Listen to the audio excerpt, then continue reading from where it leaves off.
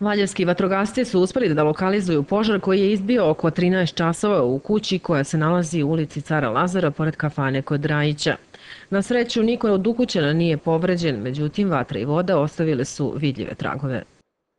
Bile sam ja i cimerka u gradu i brat mi je javio da gori ođak i to je to. A kako je došlo do toga? Normalno se zapalili vatru i izašli.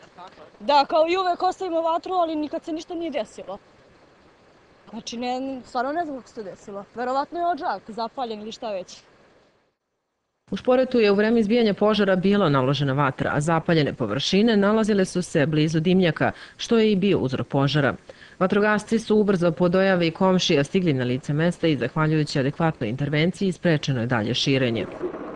Došlo je da upale oko ođaka, kara tavana i dela krova. Jedno pet kvadrata, Međutim, sretno se završilo zato što se na vreme primetilo, pa se nije proširilo. Znači, imamo jedno 3-4 kvadrata krova izgorelog i to je sve. Malo lamper je unutra, oko čunka i to je sve. Šta je uzrok? Uzrok je od ođaka što su čunkovi nastavljeni i lamperija nastavljena na njih. I provukla je u krov.